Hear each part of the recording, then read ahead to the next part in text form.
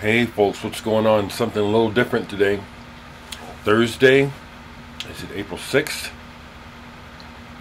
Just waking up, cheers. I'm in the living room of my home.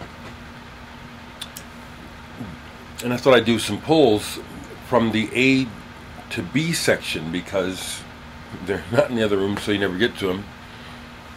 Here's, you know, part of my CD collection. Back at the uh, in the 80s and early 90s, I was way into it. And then in the 2000s, I had a reawakening and, and had sold a lot of vinyl. A lot of sales I do regret, I do. But um, out here, the first part of the, the records, it's pretty clear what I have for me because, like, right here is my Beatles. This is all Beatles. This is all Beatles right here.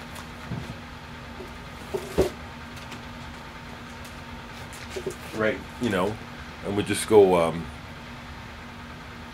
Be Bop Deluxe. You know, you just go um, go in um, alphabetical order, and who's next? Jeff Beck. Is the camera backwards? Oh well. We keep going. There's some artists in between there, but these are the, the you know my collections. Captain Beefheart. I have most of his stuff. Down here. Here's two. Black Pearl kind of a soul rock band.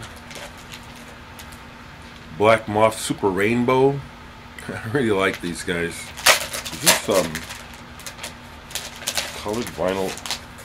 Yeah, this is this is a tasty one.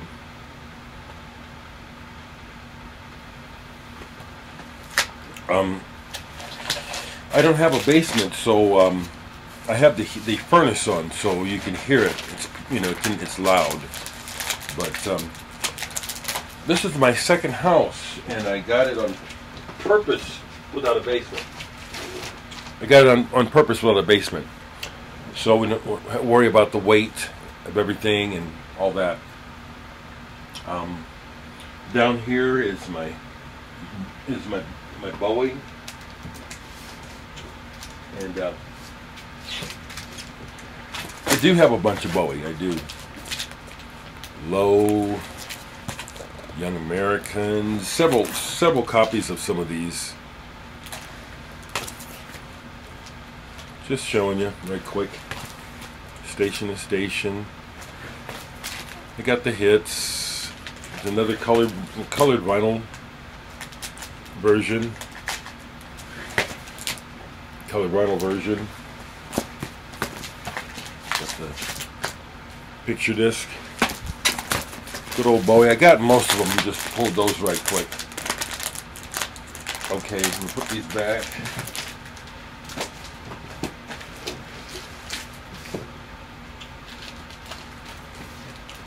Right next to Bowie is some Boris. Pink.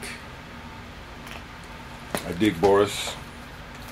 Here's their album Noise. I like that band.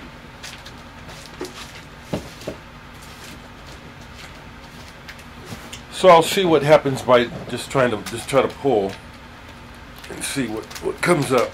Like I said, I'm pretty familiar with this area. What do we have? Barclay James Harvest, like I told you in some past videos. I have some of their albums, don't hardly ever play them. But I got rid of a bunch of Mike Oldfield records. I kept the first three. So far these are survivors. They're uh, I'm hanging on to them. There's a couple old songs there that I really like. I just hardly ever play them, but I just keep them. Oh, I saw a recent um, interview with Steven Wilson from Porcupine Tree, where they were talking about records and records collections, and um, they asked him about his A's, and, and, and they asked him, "What's your what's your first A? Is is it Aardvark?"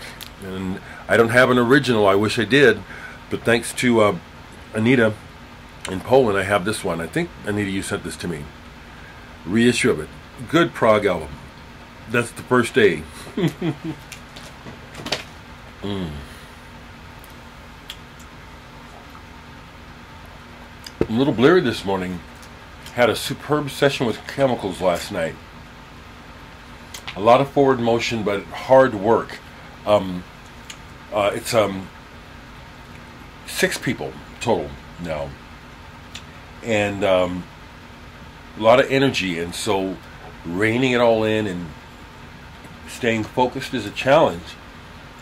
But the music that's coming out is just really already incredible. So I'm Really excited about it.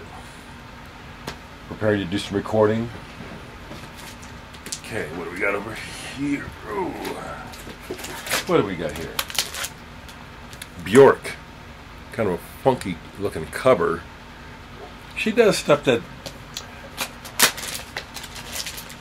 that uh, just messes with your mind a little bit. This is an interesting color, kind of Almost looks like it's luminescent, but it isn't. I have to be in the mood for Bjork anymore. Arise in My Senses. This is a single. That.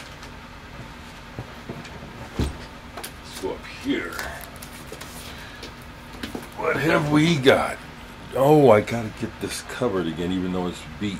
But um, the Aquarians. This is an album that goes back to my childhood.